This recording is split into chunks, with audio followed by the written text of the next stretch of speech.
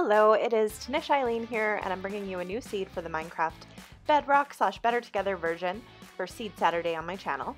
Uh, check out the video description for the seed number, world type, and coordinates for everything you'll see in this video.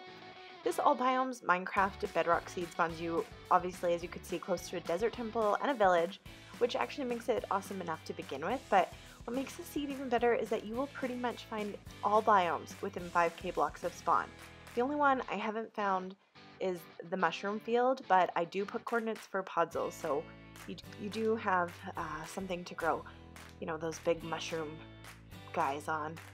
But yeah, I'm serious. I include coordinates for 12 villages, 4 desert temples, 2 jungle temples, 2 ocean monuments, 2 igloos, 2 witch huts, Podzol, like I said, zombie spawner, and like so much more.